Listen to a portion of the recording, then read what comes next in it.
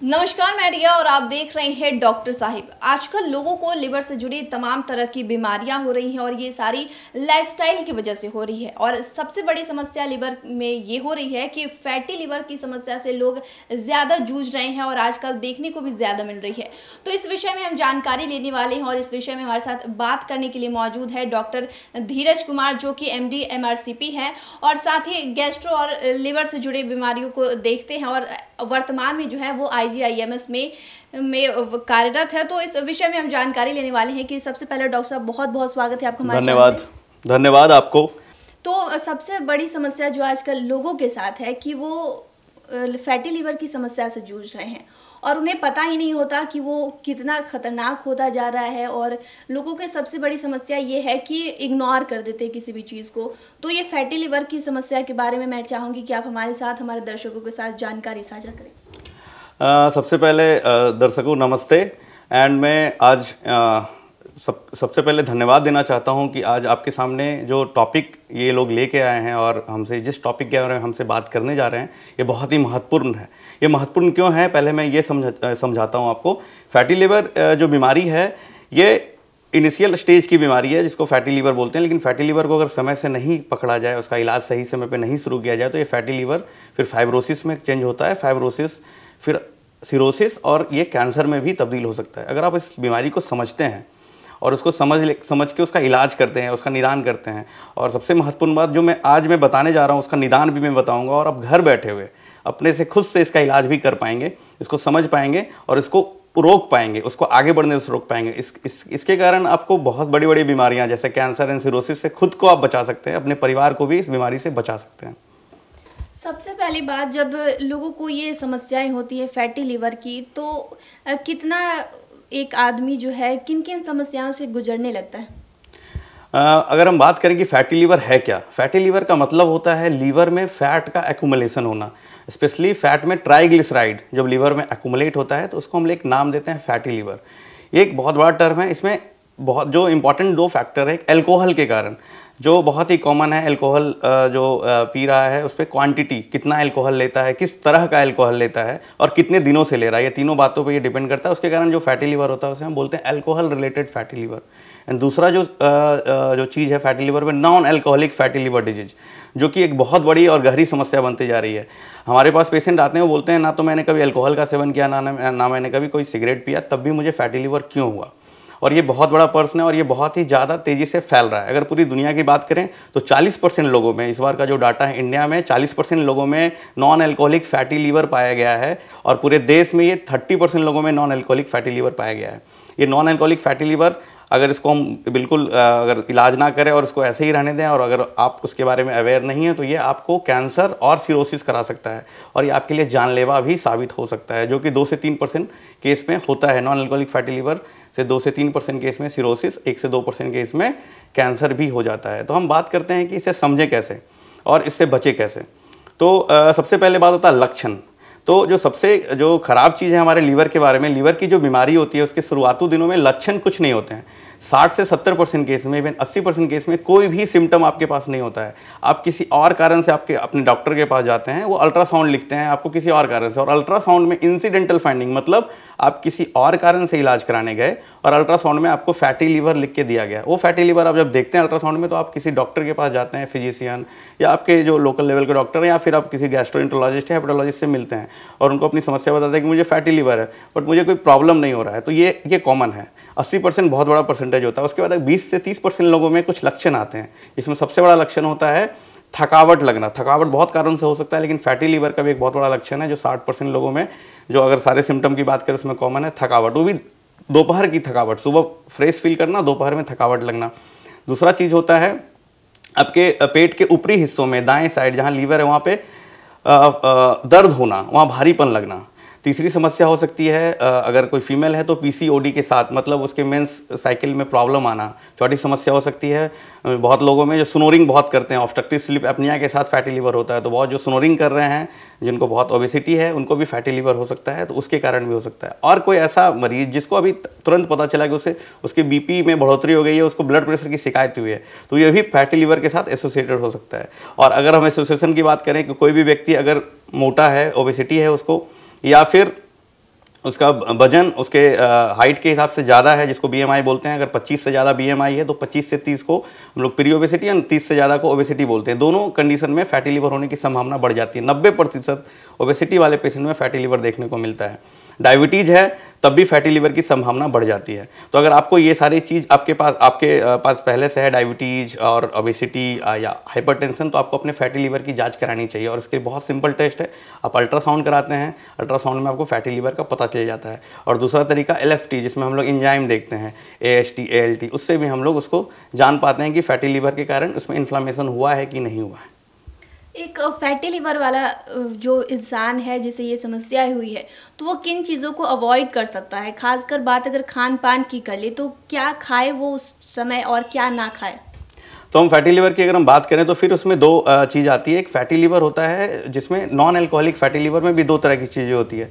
सिर्फ़ fatty liver और दूसरा NASH non alcoholic steatohepatitis इसका मतलब होता है कि फैटी लीवर के साथ साथ लीवर में सूजन शुरू हो चुका है, उसमें फाइब्रोसिस शुरू हो चुका है, ये एडवांस स्टेज होता है। इसे हम लोग अल्ट्रासाउंड के बाद फाइब्रो स्कैन करके भी पता करते हैं। तो अगर आपको फैटी लीवर हो या NASH हो जो बायोप्सी से भी हम लोग पता करते हैं उसमें आपका एल भी चेंज होने लगता है तो इसको रोकने का बस एक ही तरीका है। वो है तरीका lifestyle modification exercise and diet control जो बहुत ही अच्छा पर्सन किया। इसलिए मैं आ, मैंने शुरुआत में ही कहा था दोस्तों कि आप इस वीडियो से खुद का इलाज कर सकते हैं क्योंकि इसका इलाज ही आप में छुपा हुआ है। कोई दवाई अभी तक पूरी दुनिया में इसके लिए नहीं बनाई गई है, जो रिकमेंडेड हो। बहुत सारी दवाई पे ट्रायल चल रहा है, बहुत सारे नाम हैं जिस पे ट्रायल चल रहा है phase three phase two trial में, लेकिन किसी भी दवाई को अप्रूव्ड नहीं किया गया अप्रूव्ड सिर्फ़ एक चीज़ को किया गया है कि आपने वज़न में कमी लाएँ, अपनी डाइट पे कंट्रोल करें, अपने लाइफ स्टाइल को बदलें। अब मैं बात करता हूँ कि खाने में क्या खाना है, क्या नहीं खाना है। पहले मैं बात करूँगा खाने में क्या नहीं खाना है। तो सबसे बड़ा चीज़ जो नहीं खाना है, वो है रिफाइंड शुगर चीनी जहाँ भी दिखे अवॉइड करें। चाहे वो चीनी आपके मिठाई में अगर कोई आपको दे रहा है, चाय में चीनी, कॉफ़ी में चीनी, उसको अवॉइड करें। तो चीनी की चम, चीनी से बने सामग्री को और चीनी को अवॉइड करना है। दूसरी चीज़ें जो सबसे हानिकारक है, वो है फैट तो कहीं भी फैट दिखता है इन द फॉर्म की अगर आपको कोई छना हुआ, तला हुआ चीज़ खाने को मिल रहा है प्रोसेस्ड फ़ूड कैंड फ़ूड जो जो फ़ूड को बहुत दिन से प्रोसेस करके रखा हुआ है बाज़ार में ख़रीदते हैं, कुरकुरे चिप्स और इसके अलावा आप अगर बात करें पिज़्ज़ा बर्गर ये सब में प्रोसेस्ड फ़ूड टाइप का मटेरियल एंड फैट कंटेंट बहुत ज़्यादा है। अगर उसको आप ले रहे हैं तो अभी से बंद कर दें। अगर आपको फैटी लीवर स्टेज वन हो टू हो थ्री हो या नैस हो, उसको अभी से अभी बंद कर दें। अगर आप चाहते हैं कि आपका लीवर स्वस्थ रहे, तब भी इन चीज़ों को बंद कर दें। तो तीसरी चीज़ आती है फिर मैदा। आटा ठीक है, लेकिन मैदे की जो भी सामग्री है, वो भी फैटी लीवर को इन्हांस करता है तो उसको भी आप स्टॉप कर दें। और सबसे इंपॉर्टेंट चीज़ कि क्या खाना है? तो उसमें खाने की अगर हम बात करें तो आपकी जो भी एंटीऑक्सीडेंट रिच फ़ूड है आपकी हरे साग, हरे, हरी सब्ज़ियाँ, पत्तेदार सब्ज़ियाँ, उसके अलावा अगर हम बात करें तो आपको खाने में फ्रूट्स का सेवन, जितना फ्रूट्स हो सके। आप खाने को अगर हम थाली की बात करें तो रोटी कम कर दें, चावल कम कर दें, उसमें हरी सब्जियों की मात्रा बढ़ा दें, उसमें फ्रूट्स की मात्रा बढ़ा दें, सलाद की मात्रा बढ़ा दें, आपका fatty liver grade two grade three से ग्रेड वन हो जाएगा और अंत में वो ठीक हो जाएगा। आप इसको बस दो महीने के लिए ट्राई करें, अपने खाने की थाली को बदल दें। आप जब भी खाना लें, उसमें सेवेंटी परसेंट फ्रूट्स एंड सब्जियों पे ध्यान दें, वो भी हरी सब्ज़ियाँ, आलू की सब्ज़ी नहीं, हरी सब्ज़ियाँ।